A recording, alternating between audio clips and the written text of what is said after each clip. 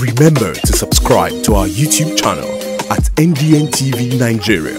Click on the subscribe button and be the first to get notifications. A former governorship aspirant of the All Progressives Congress APC in Delta State, Chief Osiobe Okotie, says he dumped his former party for the People's Democratic Party PDP to support the governorship ambition of Right Honorable Sheriff Oborevwori. According to Chief Okotie, Right Honorable Oborevwori stands out as the man with the character, compassion, and competence to preside over the affairs of Delta State in the governorship race. Chief Osiobe Okotie, a former governorship aspirant on the platform of the All Progressives Congress APC and his supporters, recently defected to the ruling People's Democratic Party PDP in Delta State. Speaking at the Ughelli Township Stadium where he formally declared for the PDP, Chief Okotie said his decision was informed by the need to support and work for the PDP governorship candidate, Right Honorable Sheriff Oborevwori. It's going to surprise Delta in terms of development, in terms of governance. Nobody should underrate him.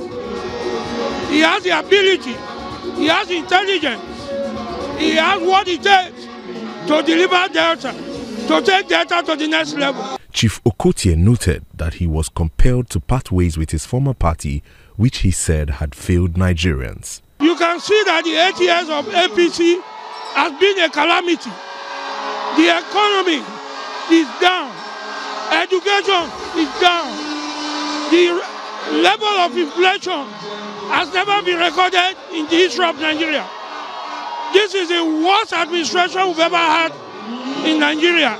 Ahead of the March 11 governorship election, many notable APC bigwigs, including former secretary of the party in Delta State, Otumba Nick Ovuakborie, have defected to the PDP. Honorable Obiode, a PDP stalwart in Isoko South local government area, is excited that the APC decampees have increased the support base of Right Honorable Oborevwori, who will hopefully dwarf his opponents in the Delta State governorship race. Secretary of APC in the state, Nick Otumba of Akboye, who decamp, and his group, they are coming to join us to, to, to, to, to get this thing delivered. We're, we're, we're working strong every day. We're growing every day. In Isoko Kingdom, Honorable Obiode maintains that Right Honorable Oborevwori does not need to campaign to record landslide victory at the polls. He says the Isoko people have decided to give the PDP governorship candidate block votes for several reasons, notably his leadership qualities and affinity with them. Aside the fact that uh, Right Honorable Oborevwori is eminently qualified to be the governor of Delta State, he is also our in-law here in Isoko because the wife is our sister. The wife is from here. And we cannot leave our sister and uh, deny her the opportunity of becoming the first lady of Delta State. The children of Right Honorable Oborevwori are maternally Isoko people, Isoko children. That affinity is there. We will not take it for granted, and we are not ready to gamble with this election.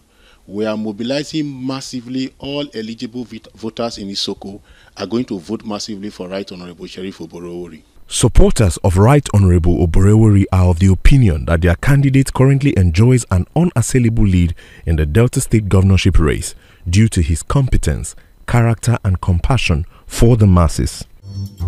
Inside the Niger Delta,